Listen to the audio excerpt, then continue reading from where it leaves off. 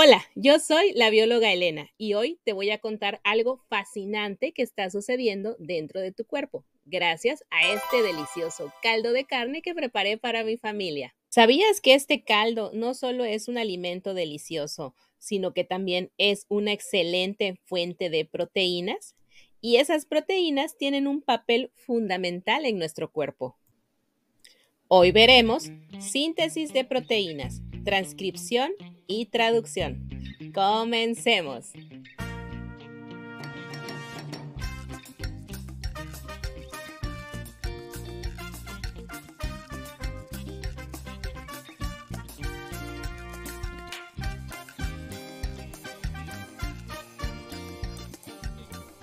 Transcripción.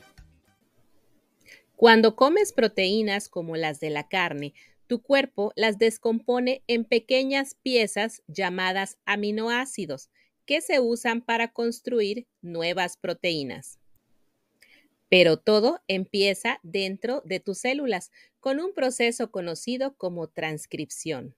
Primero, una enzima llamada helicasa abre la doble hélice del ADN separando las dos cadenas. Esta es la señal para que otra enzima, la ARN polimerasa, entre en acción. La ARN polimerasa toma una de las hebras del ADN como molde y empieza a ensamblar nucleótidos, creando una molécula de ARN mensajero. Justo este proceso se llama transcripción. Y aquí hay un pequeño gran detalle curioso. En lugar de la base nitrogenada timina, el ARN usa uracilo para emparejarse con la adenina. Esto es curioso porque en otro proceso conocido como la replicación del ADN no ocurre así. Una vez que el ARN mensajero o ARNM, resumido, está completo, se separa del ADN y sale del núcleo hacia el citoplasma de la célula, en donde ocurrirá el siguiente paso en la síntesis de proteínas, llamado la traducción. Traducción. El ARNM o mensajero llega a un ribosoma en el citoplasma, donde las subunidades pequeña y grande del ribosoma se ensamblan. Ahora empieza el segundo proceso, la traducción. El ARNM se une a un ribosoma, una estructura formada por dos subunidades, la pequeña que lee el ARN mensajero y la grande que ensambla los aminoácidos. El ribosoma lee el ARN mensajero en bloques de tres nucleótidos, llamados codones. Cada codón codifica para un aminoácido específico, que es traído por el ARN de transferencia.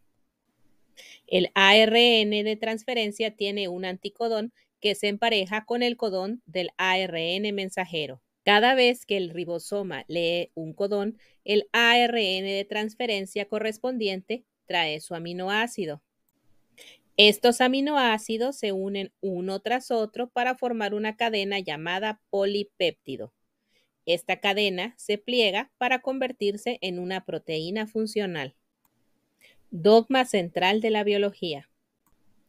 Los procesos de transcripción y traducción son parte del dogma central de la biología, es decir, la forma en la que la información de nuestro ADN se convierte en proteínas.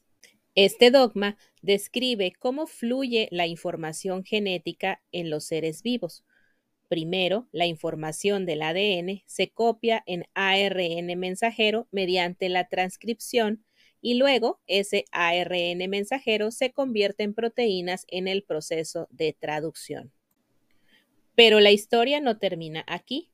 Hay otro paso esencial en este dogma, la replicación del ADN, donde el ADN se duplica antes de que las células se dividan. Si quieres entender cómo funciona esta primera parte del dogma, te dejo el enlace a mi video sobre replicación del ADN aquí. No te lo pierdas. Así que la próxima vez que disfrutes de un plato de caldo de carne, recuerda que además de ser delicioso, le estás proporcionando a tu cuerpo los aminoácidos esenciales que necesita para formar proteínas. Sin esos aminoácidos, nuestro cuerpo no podría fabricar proteínas vitales para sobrevivir. Las proteínas son esenciales para prácticamente todo en nuestro cuerpo, desde transportar oxígeno en la sangre hasta reparar tejidos y formar enzimas que facilitan las reacciones químicas. Sin la transcripción y traducción, nada de esto sería posible. Recuerda darle like, suscribirte y activar la campanita. Eso me ayuda mucho. Hasta aquí el video. Yo soy la bióloga Elena. Te agradezco que me hayas escuchado y nos vemos. Hasta la próxima. Bye.